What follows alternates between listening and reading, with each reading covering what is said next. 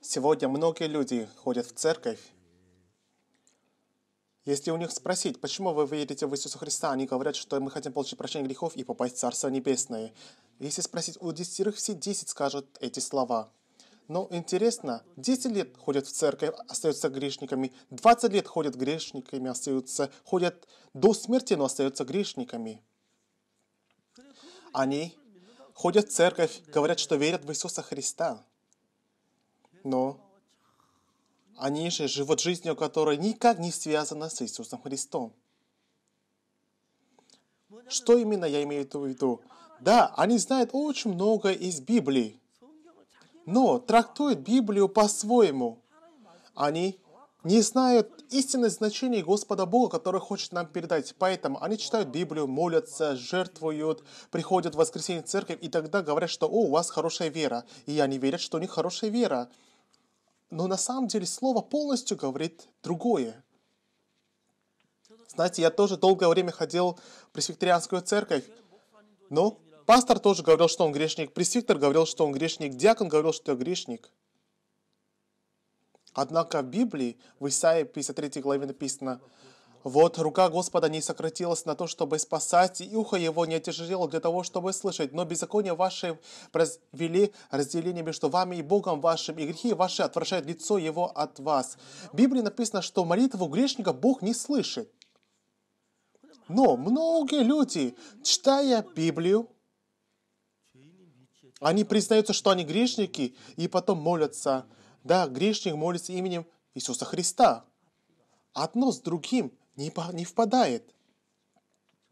В 1962 году я тоже вел подобную духовную жизнь. Но однажды я понял, что кровью Иисуса Христа мы стали чистыми. Настал такой день в моей жизни. После того, как я получил прощение грехов, до того, как я начал духовную жизнь, знаете, что произошло в моей душе? До 19 лет я увидел, что все, что было до того момента, все закончилось провалом. Поэтому, если я буду верить в себя, я потерплю крах. Я смог ясно это увидеть. Знаете, помню, мой дядя, он работал в Японии плотником. И дядя хотел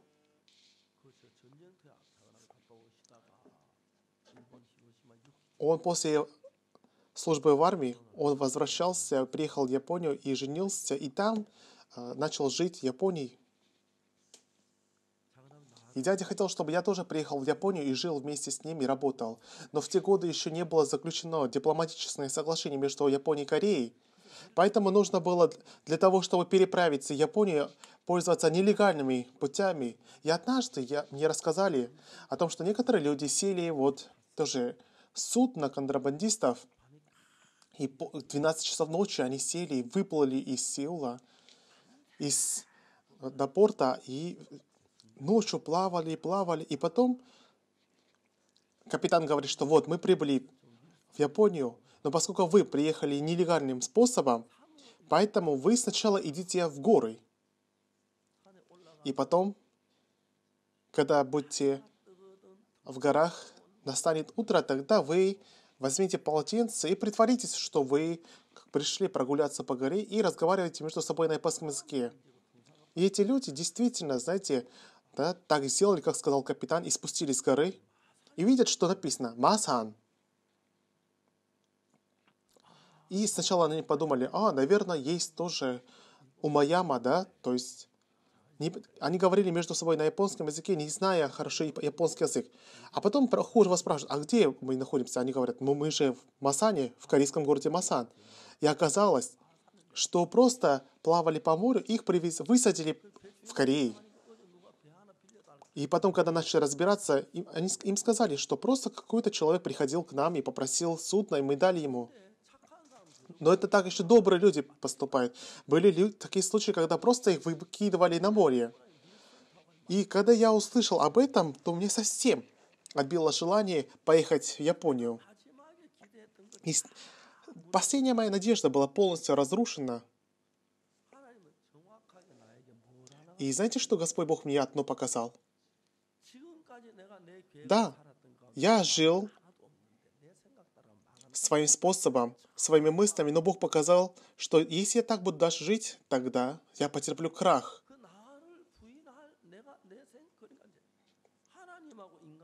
Когда человек общается с Богом, всегда Слово Господа Бога отличается от моих мыслей. Поэтому невозможно вести нормальную беседу с Господом Богом человеку. Например, 100 тебе лет, 200. Если Бог говорит, что ты родишь сына, значит, ты родишь сына, правильно? Но когда мы смотрим на положение, кажется, что это невозможно.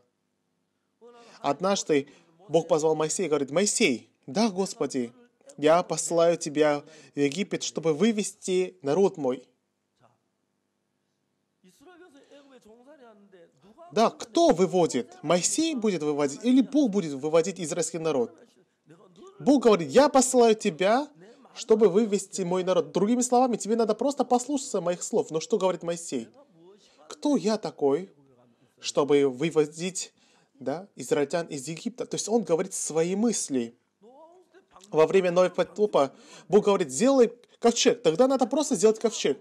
Хотя мне кажется, что не будет дождя. Ой, а как? Что? Нет, не надо своими мыслями принимать когда мы ведем духовную жизнь, самое важное – это то, когда мы открываем Слово Господа Бога и смотрим на свои мысли, наши мысли говорят, что не получится, что-то невозможно. Но люди, которые встретились в Новом Завете с Иисусом Христом, они, независимо, что говорили их мысли, те люди, которые следовали за Словом Иисуса Христа, получили благословение. Однако те, которые следовали за своими мыслями, у них ничего не получилось. Во время Кана Галилейской а, в брачном пире не хватало вина.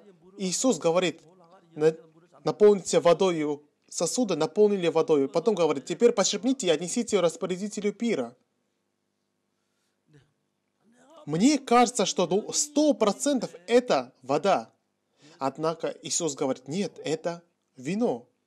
Тогда скажите, это вода или это вино? Давайте все вместе скажем. Это очень важное. Когда я смотрю, это точно вода, но Иисус говорит, что это вино. Тогда я должен верить в Слово Иисуса Христа больше, чем своим мыслям. Это есть человек веры. Понимаете это, да? Если мы будем знать подобные элементарные вещи, тогда ввести веру будет очень просто. Когда я смотрю, это точно вода, но Иисус говорит вино. Казалось бы, что за ерунда, как такое может быть, да? Мы, может, так скажем. Однако, если Иисус говорит, что это вино, извините, конечно, за такое сравнение, но даже если мы мочу принесем, но если Иисус скажет, что это вино, значит, это вино. Когда у нас будет такая вера, это есть начало веры. Сегодня многие люди ходят в церковь, Однако принимают только то, что им понятно, а что им непонятно, они не принимают. Как написано, Бог говорит, мои мысли не ваши мысли, мои пути не ваши пути.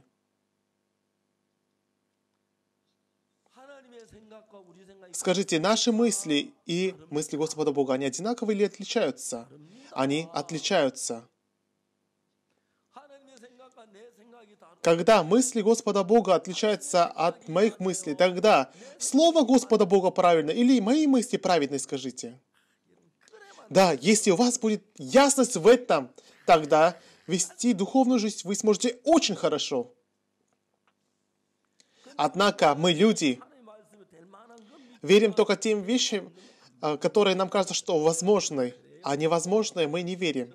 Я ведь тоже был таким но я оставил мое сердце, я сораспятся Христом. Слово Господа Бога действует во мне.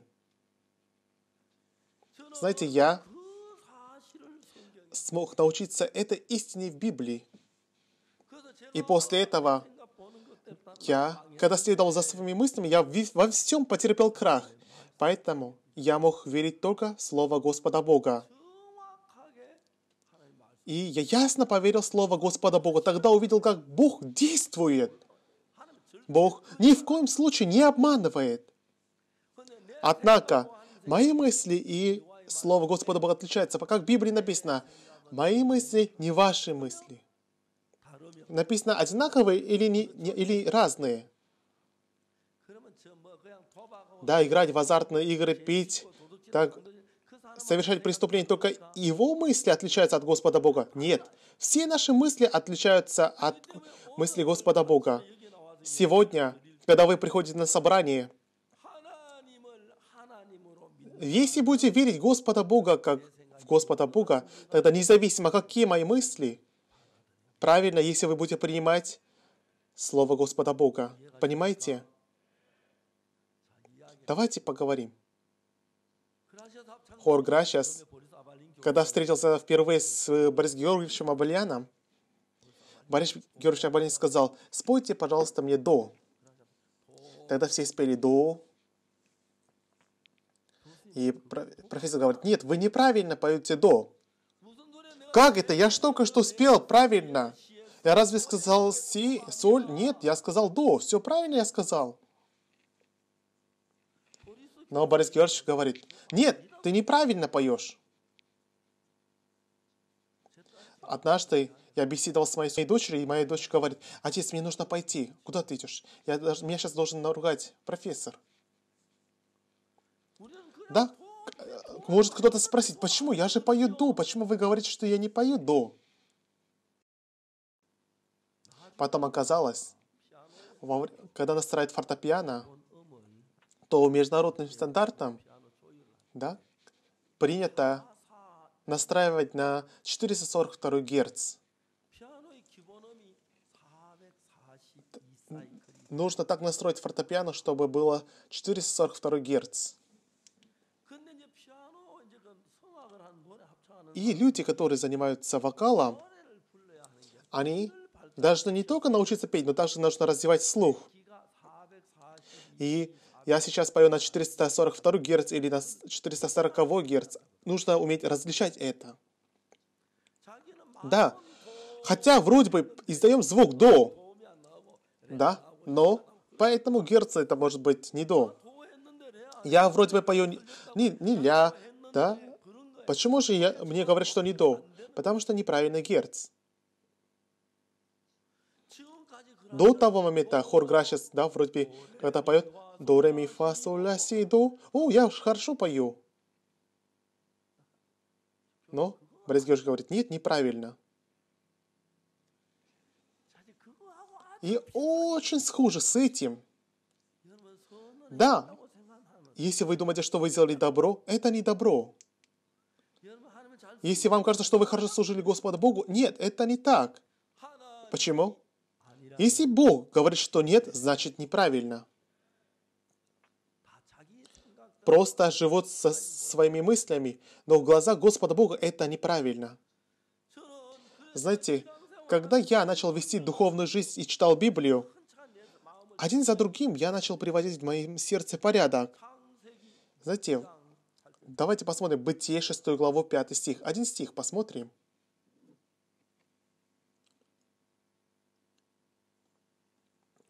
Бытие 6 глава. Пожалуйста, откройте.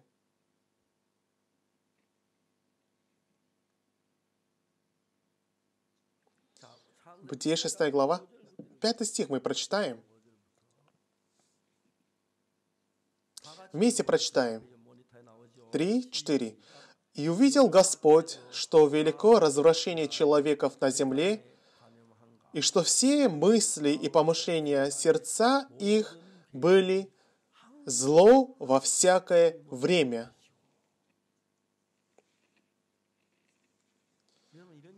Знаете, когда вы слушаете подобное слово, у вас не появляется гнев? Да? Кажется, я же делал добро. Почему же здесь написано, что я делаю только зло? Я всегда говорится, что делаю зло. Но, извините, но это слово Господа Бога. Скажите, у вас есть доброе? Да, хотя на слава говорят, что нету но про себя ведь думаем, что нет, я ведь многим помогал, давал милостыни. Разве это не доброе? Хор Грасиас вроде бы тоже поет «до». Но Борис Григорьевич говорит, нет, это не «до». Я что, ля спел, или ми, или соль? Я же вроде бы пою «до». Почему говорит, что это не «до»? Потому что это было неправильное «до» это был не до. Да, когда люди поют до, ре, ми, фа, соль, ля, си, до, да, высокий до и низкий до. О, вроде бы я хорошо пою, да? До, до. Да, хорошо вроде бы пою. Однако, когда смотрит профессор на это, он говорит, что это не до. Нужно спеть ровно на 442 Гц.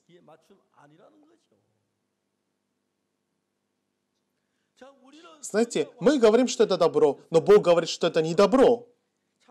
Бытие 6 глава 5 стих ясно нам говорит, «И увидел Господь, что велико разрушение человеков на земле, и что все мысли и помышления сердца их были зло во всякое время». Да, когда мы слушаем это слово, гнев появляется. Но, Господи, я же ведь и доброе делаю. Конечно, я гневаюсь, злюсь, но я делаю доброе, Господи. Наши мысли так говорят. Да, и мы предпочитаем доброе, правильно, а злое оставляем. Однако, Слово Господа Бога говорит, что все наши мысли и помышления зло во всякое время. И нам очень сложно принимать подобное слово. Согласитесь. Однако, это есть Слово Господа Бога. Если Бог говорит, что есть только зло, значит и у нас есть только зло. Сегодня многие люди говорят, что я сделал доброе, поэтому я смогу попасть в Царство Небесное. Но мы говорим, что это не так. Почему? Потому что Библия говорит, что у человека нет доброго. Знаете, я до 62 года считал, что я делал и доброе, и делал злое. Но в 62 году, когда я читал Библию, я увидел, что у человека нет ничего доброго. В Бытие 6 главе, 5 стихе написано, «И видел Господь, что великое разрушение человека на земле, и что все мысли и помышления сердца их были зло во всякое время». Да, казалось бы, но у нас ведь и доброе было. Ведь мы и хорошее делали. Мы ведь и... Хорошее у нас есть, хотя и есть плохое. Да, может быть, кто-то из вас так скажет. Однако Бог говорит, что все мысли и помышления их были зло во всякое время. Тогда скажите, ваши мысли правильны или же Слово Господа Бога? Если Слово Господа Бога правильно, тогда вы должны признавать, что и то что, доброе, что вы делали, нравится вам, не нравится. Да, нужно верить, что вы делали только зло. Сегодня многие люди, они верят в Библию, следуя за своими мыслями. Мы точно можем сказать, что у нас нет доброго. Правильно? Есть только Одно добро – это Иисус Христос. Поэтому мы должны принимать добро Иисуса Христа в наше сердце. Мы должны святость Иисуса Христа принимать за нашу, как за нашу святость. А все наши помышления, мысли, Бог говорит зло во всякое время. А если я говорю, что я делаю добро, это смешно перед Господом Богом. Бог говорит, что у нас нет доброго ни одного. Поэтому все наше доброе мы должны оставить и должны понимать Слово Господа Бога, добро Иисуса Христа, святость Иисуса Христа. Когда мы понимаем святость Иисуса Христа, это мы становимся святыми. Когда мы понимаем Его праведность, это и мы становимся праведными. Аминь. Что говорит апостол Павел?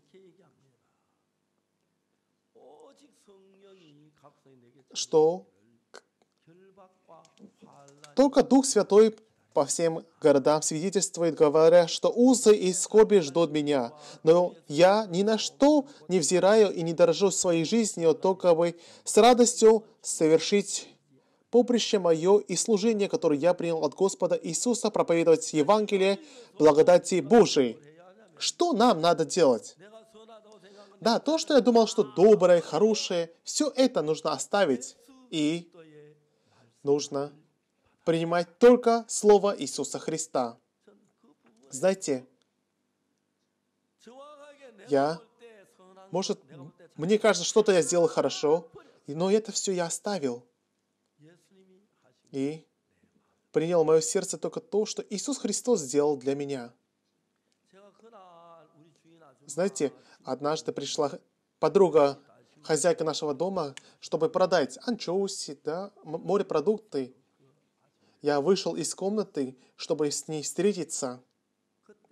Тогда мне было 21, а этой женщине, она была старше меня на 24 года. Почему я это говорю? Может быть, если она была бы молода, мы бы женились. Да потом, может, я об этом объясню. Но я у нее спросил, вы ходите в церковь? Она сказала, нет, нет, нет, не хожу. Знаете, она была очень бедной, и она обманула меня, говорит, чтобы, знаете, как, не обидеть Господа Бога, что она бедно живет.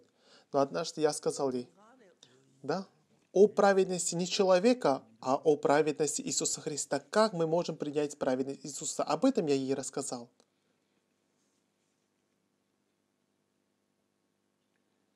Знаете, ваши рассуждения, они неправильны. Поэтому даже если они кажутся праведными, если мы верим, что наши мысли неправедны, и будем веровать в Слово Господа Бога, тогда мы можем получить благословение. Однако, хотя Библия говорит о том, что у меня есть только зло, я же думаю, что у меня есть и доброе. Знаете, я же начал работать с этим, что, а, у меня нет ничего доброго. У меня есть только зло. Именно поэтому я оставляю все мои мысли и верую в Слово Иисуса Христа. Подходит оно мне, не подходит, но я начал принимать, и оно начало входить в мое сердце. Когда Иисус Христос был на земле, знаете, что было?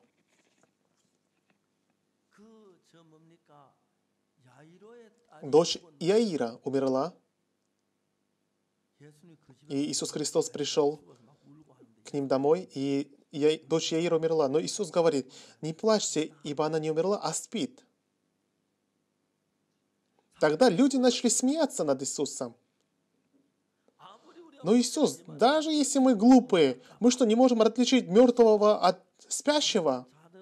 Спящий, хотя он не движется, но ведь он дышит. Есть пульс, и есть температура организма. А у этого ребенка же извините, он, она перестала дышать. Теперь температура падает, тело становится все тверже. Нет пульса, да? То есть она умерла.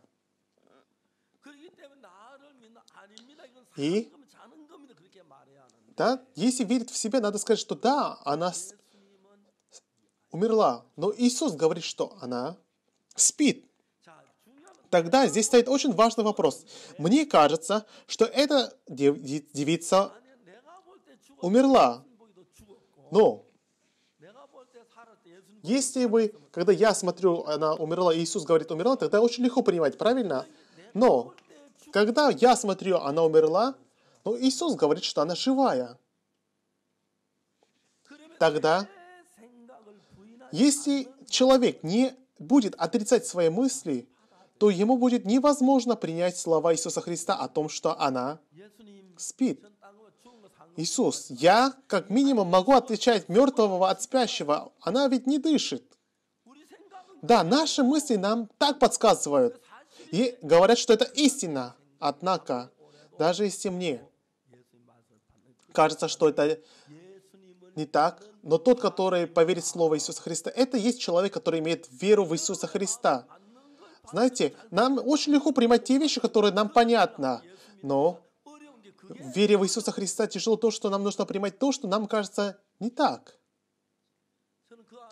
Знаете, я где-то два часа открыл Библию, и я объяснял этой женщине. Я сказал, вы не знаете просто, но Иисус Христос, да, умер на кресте, и Хотя вы говорите, что вы грешите, это не так. Иисус Христос умер на кресте для того, чтобы ясно очистить ваш грех. И Библия говорит нам о том, что вы оправданы. Когда она сказала, но все равно, я же могу совершить грех, значит, я грешница.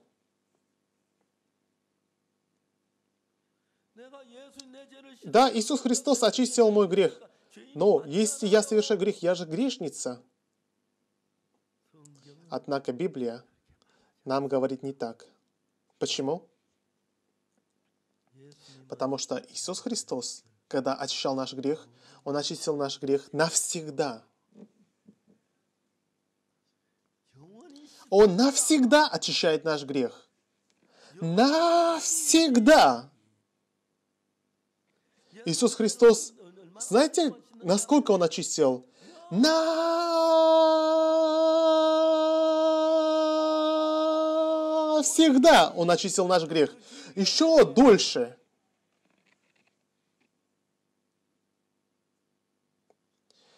Иисус, Он навсегда, если очистил наш грех, тогда у нас не может быть греха. Да, хотя мы совершили грех. Сегодня многие люди верят своим мыслям, и поэтому, когда у них спрашиваешь, они говорят, да, Иисус умер за мой грех. Но я же ведь грешу, поэтому у меня есть грех. Да, мы совершаем грех. Да. Однако, знаете, что они неправильно знают? Это то, что Иисус Христос очистил грех не только того момента, а навсегда очистил наш грех. Нужно, чтобы были хорошие легкие, чтобы сказать все. На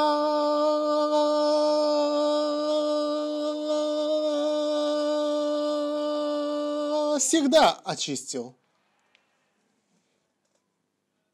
Правильно? Он очистил навсегда наш грех. Поэтому, да, но, к сожалению, мы не видим это в Библии. В 62 году, знаете, бывают такие моменты, когда слово говорит так, как мне кажется правильным. Но даже тогда, когда оно подходит мне, Библия правильно, Но даже тогда, когда оно не подходит моим мыслям, все равно Библия праведная. Понимаете? И тот человек, который так смотрит Библию, если Писание говорит, что мы оправданы, значит мы оправданы. Если Иисус говорит, что это вино, значит это вино. Если Иисус говорит в слове, что это она спит, значит она спит. Так мы должны веровать. Иначе человек, который верит своим мыслям, он будет говорить, что да, я когда мне кажется, что она спит, значит спит. А если мертва, значит мертва. Понимаете, да? Но это не вера в Иисуса Христа. Сегодня люди, которые ходят в церковь, они говорят, что они грешники. Я спрашиваю, почему? Потому что мы же грешим. Но они говорят так, потому что они не знают Писания. Не все, кто совершил грех, являются грешниками. Знаете, давным-давно в городе Ханчжоу была бандитская группировка Тидон. И знаете, они в подвале сделали котельню и убивали человека, а потом да, сжигали труп в этой котельне и не оставляли следа от преступления. Невозможно было найти след преступления. И однажды эти люди, там были только мужчины, и им нужна была женщина. И для этого они напали на как молодую пару, которые встречались, и привели их в, под, в подвал. И поскольку им нужна была женщина, дали пистолет девушке и сказали, выстрели, да, в парня. Знаете, она любила своего парня и не хотела стрелять в него. Она плакала. Тогда эта бандитская группировка сказала, если ты не выстрелишь, тогда мы тебя убьем. Раз, два. Девушка, она со слезами, в конце концов выстрелила в парня и парень умер. И она тоже совершила преступление, правильно? И стала частью этой бандитской группировки. И она готовила для них еду, она стирала вещи их. Однажды эта девушка повредила ногу, и ее положили в больницу. И пролежав один день в больнице, воспользовавшись шансом, она, да, в той одежде, в котором была, она выбежала из больницы, побежала, села в такси и попросила поехать да, в полицейский участок. Приехала в полицейский участок, и она подробно-подробно рассказала о том, что было с нею. И тогда целый взвод полицейский поехал, да, чтобы бороться с этой бандитской группировкой. 근 она же совершила, да, убийство, и поэтому проводился суд над нею. И знаете, что судья приговорил? Что она невиновна. Почему? Да, она совсем не хотела убивать своего парня. Однако, поскольку эта бандитская группировка хотела убить ее, поэтому она была вынуждена просто совершить убийство, поэтому она невиновна. Я думаю, среди вас есть те, которые читали новости об этом преступлении. Да, она убила своего парня, но она не виновна была. Наш грех определяет не мы, а судья определяет. Другими словами, Бог определяет, виновны мы или нет. Тогда к римлянам в 3 главе 23 стихе ясно написано, «Потому что все согрешили и лишены славы Божией». А в 24 стихе написано, «Получая оправдание даром по Его, искуплением во Христе Иисусе.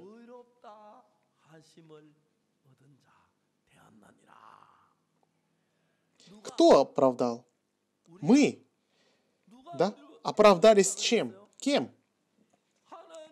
Бог оправдывает нас. Сегодня утром, если мы посмотрим, многие люди, которые ходят в церковь, что они говорят? они говорят о том, что грешники, хотя ходят в церковь. Но если Бог говорит, что я оправдал тебя, а люди говорят, что они грешники тогда, они противятся Господа Богу. Это не вера в Господа Бога. Нужно верить о том, что мы праведны, что мы оправданы. Аминь.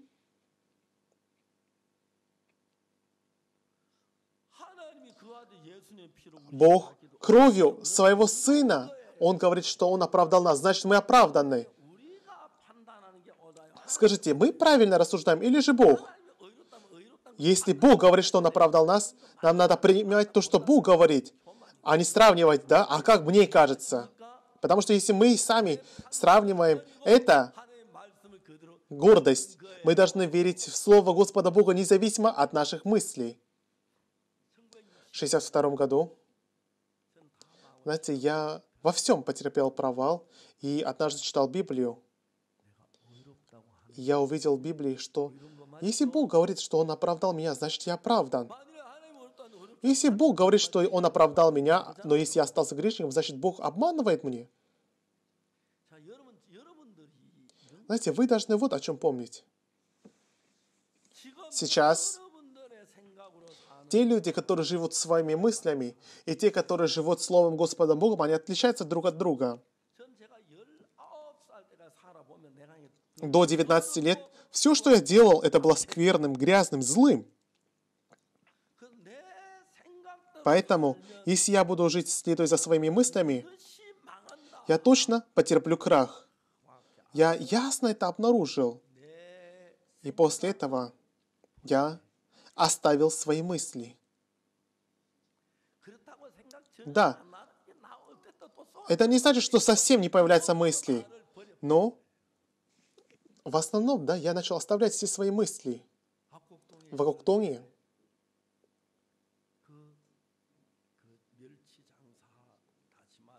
Это сестра, которая продавала анчоуси и морскую капусту. Да, я два часа передавал ей слово. Она тоже была грешницей. Я сказал, да, женщина, послушайте, пожалуйста. Кремлянам в 3 главе 20, в 3 стихе написано, «Все согрешили, лишены славы Божьей». А 24 стих нам говорит, «Получая оправдание даром, поблагодайте Его, искуплением во Христе Иисусе». По благодати, то есть мы ничего не сделали, но получили оправдание.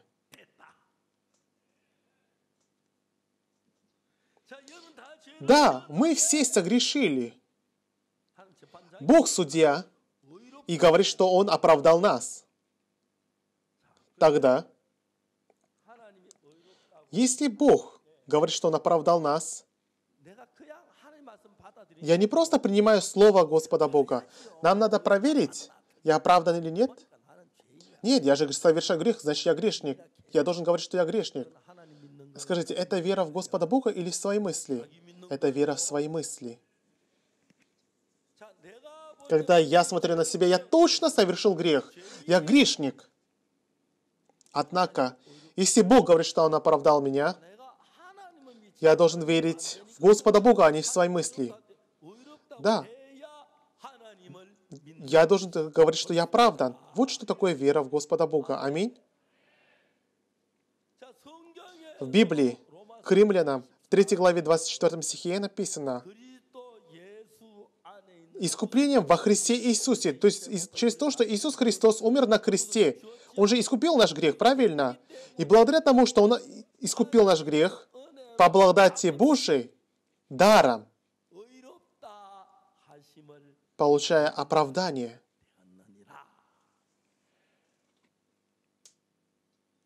Да, нет человека, который бы не грешил. Но Бог говорит, ты оправдан. Не я говорю, Бог говорит. Понимаете, да? Этой сестре Бог говорит, что ты оправдана. И сестре в очках тоже Бог говорит, ты оправдана. И сестре, которая в шарфе, тоже Бог говорит, что ты оправдана. И сестра, которая Библию в руке держит, тоже Бог говорит, что ты оправдана. Знаете, в армии, знаете, я служил в части, которая отвечает за связь, и сказали, что будем сдавать экзамен – для чего? Знаете, есть много как, а, направлений, и я отвечал за ROC.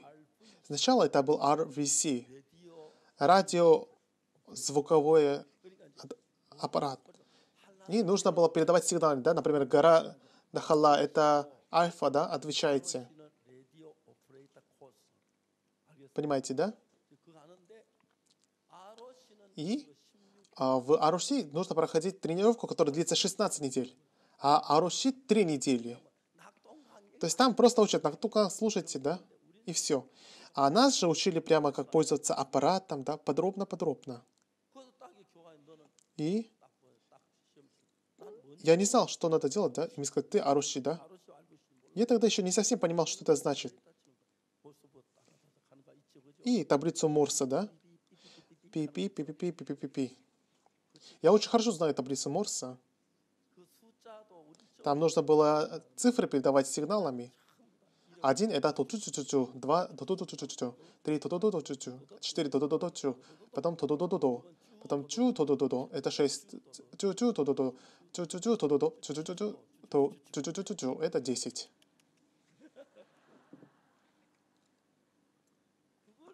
Я выучил это. И мне говорит командующий. Это называется по-английски speaker. А это как? Desk. И тогда мне, о, тогда ты идешь в орущий. Потому что в то время многие люди не знали элементарных слов на английском языке. И не я решаю, умный я, неумный. Если этот человек говорит, ты идешь в, в Аруши, значит, ты идешь в Аруши.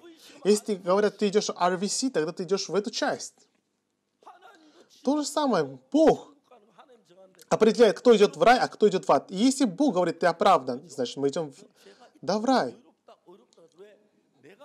Бог говорит, что оправдал меня. Почему? Не потому, что я хорошо что-то сделал, а потому, что Иисус Христос самым чистым образом очистил наш грех. Однако, знаете, некоторые люди так говорят. Конечно, простите, когда идут да, уборную, скажите, если не будет туалетной бумаги, можно так? Сейчас можно, да, не ходить э, в туалет э, без туалетной бумаги, потому что везде есть, да, в общественных туалетах и туалетная бумага. Но когда нет туалетной бумаги, да, если руками выйти, тогда грязно же будет, правильно? Когда мы смотрим, грязное вроде бы. Когда я смотрю, я, это грязно, я грязный грешник. Но и Иисус Христос на кресте очистил наш грех белее снега. Именно поэтому Бог говорит нам, что мы оправданы. Неважно, как мне кажется, важно это не важно, а важно, что Бог говорит. Да, если командующий пехоты говорит, ты идешь, да, часть Аруши или Эсуши, тогда ты идешь в эту часть, понимаете, да? Тогда экзамен такой был. Как по-английски будет вот это? колонки. А, тогда ты идешь в эту часть, понимаете, да? И я проходил тренировку, которая длилась 16 недель. Бог. Если командующий говорит, ты идешь в Аруши, тогда ты идешь в Аруши. Независимо, у тебя хорошая голова или плохая. Куда говорят, ты туда идешь. То же самое. Если Бог говорит, что ты оправд... Он оправдал меня, значит, даже если я грешу, если Он говорит, что Он оправдал меня, значит, я оправдан. И тот, который говорит, что я оправдан, это есть тот, который верит в Господа Бога. Кто-то скажет, нет, я же грешу. Я грешник. Это значит, что этот человек верит не в Бога, а в свои мысли. Сегодня большинство людей верят в свои мысли. Я в тот день был очень благодарен. В Акуктонге я передавал слово об вере Иисуса Христа, и она уверовала – в жизнь в Тони была очень сложной. Знаете, у меня была еда на два дня, и я жил там шесть месяцев. И кроме того, что мне два раза просто дали две картошки, никогда я ничего не получал. Но я видел, как Господь Бог действует, и поэтому я был счастлив. В 1964 году я поехал в э, город Коцан, район Чангпали.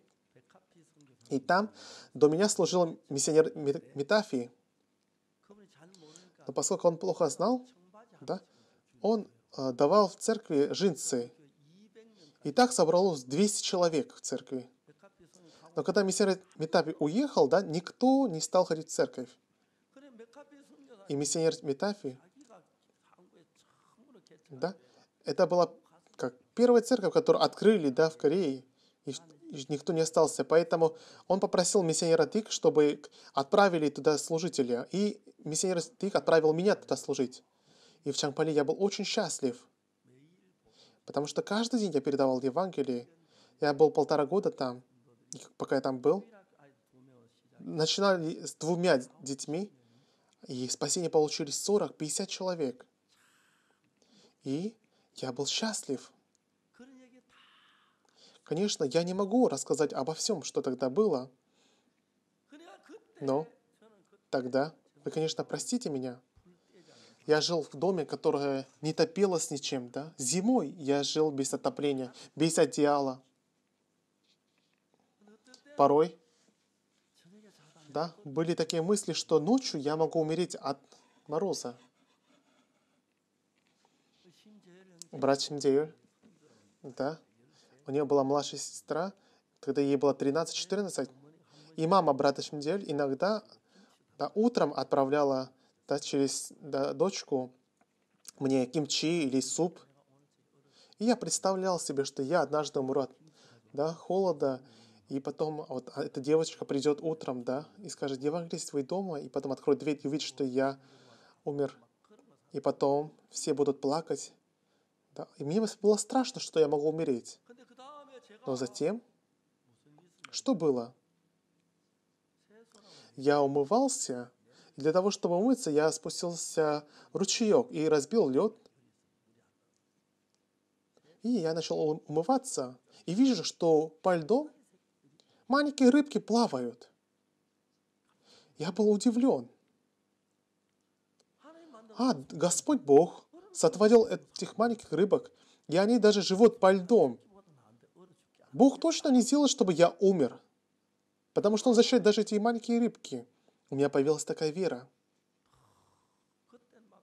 Да, мы были бедными, да, не было одеяла даже.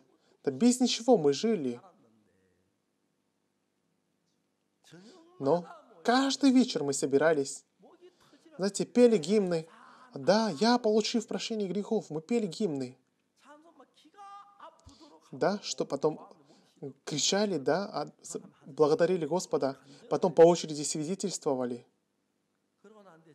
Потом я передавал слово, заканчивали молитвенное собрание. И каждый вечер мы так собирались. Я был счастлив. Знаете, Иисус Христос живет во мне. Иисус Христос ведет меня. Иисус Христос своим словом действует у меня, я был благодарен за это. Сегодня многие люди живут в своих мыслях. Что говорит апостол Павел, вы знаете? Только Дух Святой по всем городам свидетельствует, говоря, что узы и скорби ждут меня. Но я ни на что не взираю и не дорожу своей жизнью, только бы с радостью совершить поприще мое и служение, которое я принял от Господа Иисуса, проповедовать Евангелие благодати Божией. Господь Бог начал вести жизнь апостола Павла, и теперь он не сам живет своей жизнью, а живет жизнью через Иисуса Христа. Такая жизнь появилась и у меня. Знаете, полтора года я служил в этом городе, потом поехал служить в армию. И мне было так хорошо в этом городе, и не хотелось никуда уезжать. Однако, поскольку Бог уже приготовил все в армии, поэтому я уехал в армию. И когда я уезжал, я был очень благодарен. Знаете, я не могу забыть этот район Чангпали.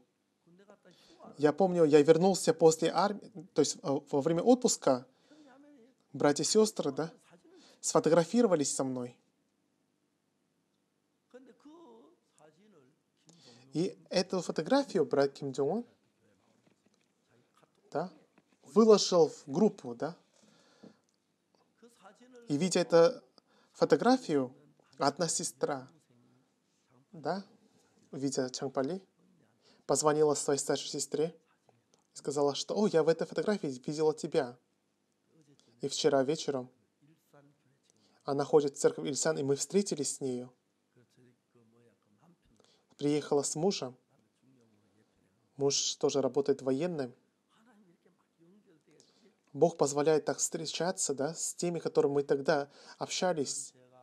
Когда я был в Акуктонге, в Чангпале, у меня ничего не было. Я жил только через Господа Бога. И сейчас Получается, в 65 году я уехал служить в армию. Уже прошло больше 50 лет. Но до сих пор ясно помню, как тогда Бог действовал. Я был счастлив. Апостол Павел говорит, только Дух Святой по всем городам свидетельствует, говоря, что узы и скорби ждут меня, но я ни на что не взираю и не дорожу своей жизнью, только бы с радостью совершенствовать поприще мое и служение, которое я принял от Господа Иисуса, проповедовать Евангелие благодати Божией. Через Иисуса Христа жить новой жизнью. Знаете, я 20 лет тому назад, да, у меня в голосовых связках были три маленькие опухоль, да, и нужно было их немножко срезать. И Э, как медсестра, да, кореянка, она хотела ввести мне лекарство, и потом говорит, что у меня очень высокое давление, что не могут ввести наркоз. И она говорит, пастор, вам нужно немножко отпустить давление. Я скажу, давайте. Дали лекарства на три дня, я выпил их. Через три дня я вернулся, и потом врач посмотрел на давление и говорит, о, у вас очень хорошее давление, пастор. Я сказал, ну это не я, не у меня, а мне лекарства вы дали хорошие, да? Потом сделали операцию. И медсестра мне говорит, пастор, знаете, когда я скажу глубоко вдохнуть, вы глубоко вдохните. Хорошо. И потом говорит, пастор, выдохните сильно. Я сильно так выдохнул. И тогда сказали, операция закончилась. Знаете, она как вела вену, да, э, наркоз, да, только так, чтобы я не увидел. А когда операция закончилась, да, когда началась операция, она сказала, вы сильно вдох- э, да, вздохните, я вздохнул, а потом сказал, и так я потерял, да, соз- за что я был благодарен, что то давление, которое было тогда, у меня было очень высокое давление, но три дня я принял лекарство, и давление стало нормальным. Да? И после этого оно должно снова подняться. Но интересно, с того момента мое давление 138 до да, 178. Вот так вот. Господь Бог держит полностью мою жизнь.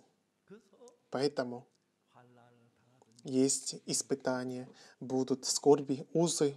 Апостол Павел говорит, только Дух Святой по всем городам свидетельствует, говоря, что узы и скорби ждут меня, но я ни на что не взираю и не дорожу своей жизнью, только бы с радостью совершить поприще мое и служение, которое я принял от Господа Иисуса, проповедовать Евангелие благодати Божией.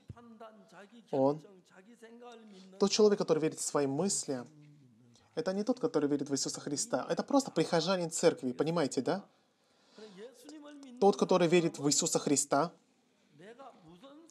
Неважно, какие есть у меня мысли, когда слово Иисуса входит в мое сердце, да, я принимаю это слово. Я точно согрешил, я грешник. Однако, если Бог говорит, что я оправдал тебя, тогда я грешник или праведник? Да, я грешник. Но если Бог говорит, что Он оправдал меня, значит, я грешник или я праведник, скажите? Это значит, что я праведник. Потому что Бог говорит, что Он оправдал меня. Слово Господа Бога должно быть выше, чем я чем мои мысли. Но большинство людей верят своим мыслям и не верят Слову Господа Бога. Понимаете это? Мы теперь человек, болевший 38 лет. Да я не могу ходить. Однако, если Иисус говорит, встань, возьми постель твою и ходи, тогда мне нужно упрямиться говорить, что я не могу ходить или ходить. Вот что такое вера в Иисуса Христа. Если мне кажется, что я не могу ходить дальше, да, и не хожу, это значит, я верю в свои мысли. Если я не, не оставлю мои мысли, то я ни в коем случае не могу верить в Иисуса Христа. Аминь. Иисус, когда мы живем верой в Иисуса Христа, то, знаете, Библия, она такая счастливая книга. Некоторые люди, да, приходят поздно на собрание. Да? А кто-то говорит, что вот, в других церквях час идет собрание, а у нас два часа. Да? Есть такие люди, которые поздно приходят.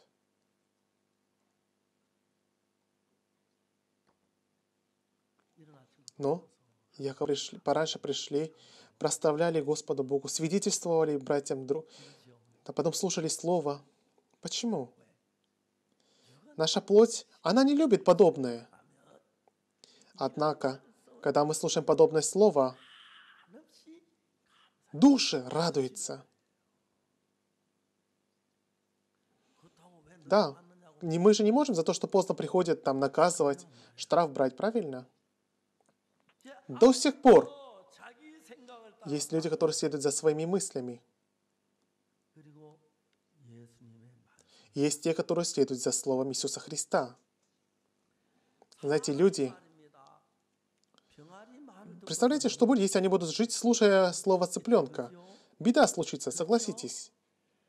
Но когда мы слушаем Слово Господа Бога, принимаем Слово Господа Бога, верим в Слово Господа Бога, когда мы живем, размышляя о Слове Господа Бога, мы становимся едиными с Господом Богом, и Бог начинает у нас действовать. Даже если вы совершили большое преступление, большой грех, если вы будете пытаться совершить, да, очистить ваш грех, это будет да, невозможно. Если же Иисус очистит наш грех, тогда совершенным образом мы сможем очистить наш грех. Понимаете? Большинство людей, они следуют за своими мыслями, и таких людей, к сожалению, очень много. Апостол Павел говорит, «Только Дух Святой по всем городам свидетельствует, что узы и скорби ждут меня, но я ни на что не взираю и не дорожу своей жизнью, только вы с радостью совершить поприще мое и служение, которое я принял от Господа Иисуса, проповедать Евангелие благодати Божией. Да, он верит теперь в Иисуса Христа, его ужалила змея, да, были гонения, но все равно он передавал Евангелие. Многие люди уверовали в Господа Бога. Я тоже раньше следовал за своими мыслями. Однако, я понял, что если я буду следовать за своими мыслями, тогда я потерплю в моей жизни крах. Я начал веровать в Слово Иисуса Христа. И с того момента уже не я веду себя, Иисус Христос ведет меня. И тогда Господь Бог он проявлял удивительное деяние, удивительную силу свою. Дорогие братья и сестры, вы ведь следуете часто за своими мыслями, верно? Дорогие братья и сестры, если сегодня, с этого момента, вы оставите ваши мысли и будете следовать и веровать в Слово Иисуса Христа, тогда через вас будет проявляться сила Иисуса Христа тогда вы сможете чисто очистить, вы сможете быть святыми и праведными. Если мы оставим все наши мысли, если Бог говорит, что оправдал нас, значит, Он оправдал нас. Если Бог говорит, что мы святы, значит, мы святы. Даже если в моих глазах кажется, что у меня есть множество грехов, тот, который верит так, как Бог говорит, это есть вера. А тот, который говорит, что я грешник, это тот, который верит в свои мысли. Сатана сделал, чтобы наш взгляд был неправильным. Неважно, что говорят наши мысли, когда у нас будет вера в Слово Господа Бога, Бог будет удивительным образом проявлять свою милость и силу в нашей жизни.